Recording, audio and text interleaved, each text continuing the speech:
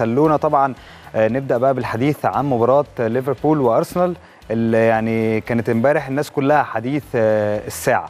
وخطفت أنظار الجميع رغم إن الفريقين ما كانوش يعني بيلعبوا بالتشكيل الأساسي واعتمدوا على العناصر البديلة والشابة مع التدعيم بعنصر أو اثنين من الأسامي الكبيرة لكن النتيجة الكبيرة اللي خلصت بيها المباراة والعشر أهداف اللي شهدتهم المباراة عملت نوع كبير بقى من الإثارة والمتعة عوضت غياب العناصر الأساسية لكلا الفريقين سواء ليفربول أو أرسنال. ليفربول اللي كانت قدم في الدقيقة 6 من عمر المباراة عن طريق هدف ذاتي لمصطفى في مباراة في مرماه لكن رجع مرة ثانية أرسنال وقدر بقى يتقدم بثلاث أهداف عن طريق توريرا في الدقيقة 20 ومارتينيلي في الدقيقتين 27 و36 بعد كده رجع جيمس ميلنر وقلل الفارق في الدقيقة 43 عن طريق ضربة جزاء لينتهي الشوط الأول بنتيجة 3 2 لصالح أرسنال. طبعا الشوط الثاني شوط ثاني خالص وشفنا أداء ثاني خالص مع بداية الشوط الثاني عزز ميتلاند تقدم أرسنال وأحرز الهدف الرابع عشان تصبح النتيجة 4 2 لصالح ال Gunners ويمكن لما كانت النتيجة 4 2 ناس كتير قالت خلاص يعني أرسنال رايحة له بقى المباراة بشكل كبير جدا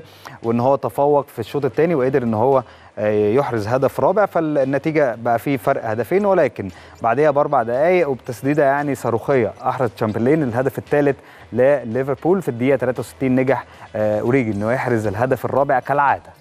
ويعادل النتيجة لصالح ليفربول لكن مع الدقيقة 71 ويلوك نجح إنه يحط أرسنال في المقدمه مرة أخرى بعد تسديدة أكثر من رائعة. وأخيرا في الدقيقة الخامسة والأخيرة من الوقت بدل الضايع قدر أوريجي إنه يعود مرة ثانية ويحرز الهدف الخامس لليفربول لتنتهي المباراة بنتيجة التعادل الإيجابي 5 5 ويتجه الفريقين لضربات الجزاء وقدر إنه يفوز ليفربول ويتأهل لدور ربع النهائي من كأس رابطة الأندية الإنجليزية المحترفة.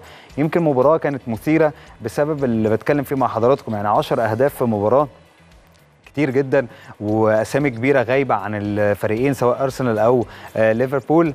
لكن في النهاية يعني خلينا نتكلم بمنتهى الأمانة ليفربول بيواصل بقى النتائج الإيجابية والانتفاضة اللي بيعيشها مع يورجن كلوب. أرسنال بيعيش لسه نتائج يمكن سلبية مع أوناي إمري وحالة حزن يمكن شوية من جماهير نادي أرسنال. وابتدت بقى الكلام يطلع إن هو خلاص أوناي إمري على أبواب الرحيل عن نادي أرسنال.